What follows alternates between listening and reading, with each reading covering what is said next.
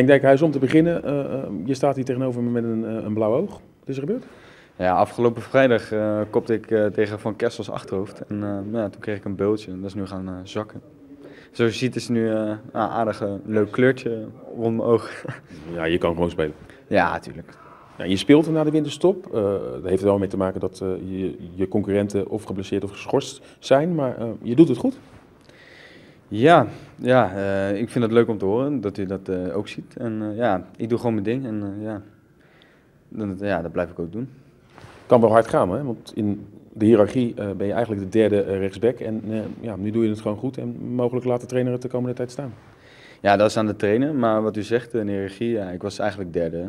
En nu ben ik ja, door blessures en schorsingen, ja, ben ik ja, nu eerste rechtsback. Ja, ook vorig jaar heb je uh, in het elftal geknokt nadat je eerst niet speelde. Had je een goede tweede seizoenshelft. Zie je zo'nzelfde scenario weggelegd?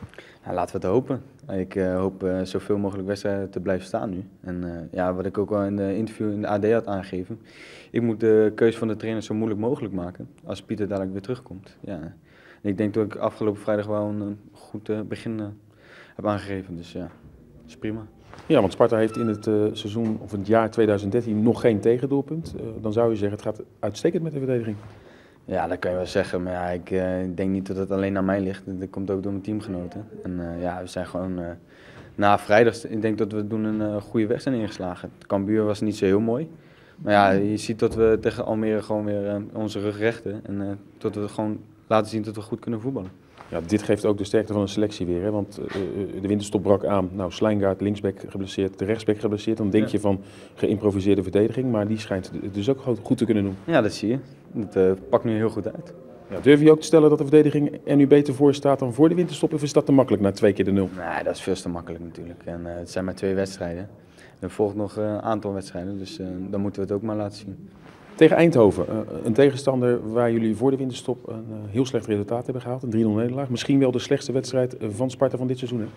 Ja, maar vergeet die wedstrijd na de, na de winterstop ook niet. Uh, Cambuur was ook niet heel best. Maar die hebben we dan gelukkig wel gewonnen. Maar wat je zei, ja, het was, was niet best, die wedstrijd. Dus ja, tijd voor een revanche.